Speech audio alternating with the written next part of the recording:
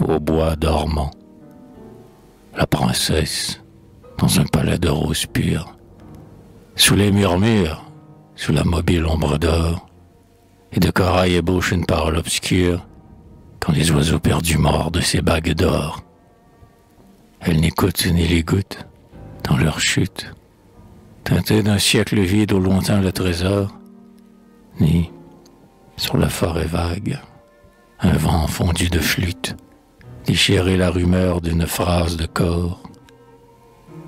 Laisse, longue, l'écho endormir la diane, ou toujours plus égale à la molle liane, qui se balance et bat tes yeux ensevelis.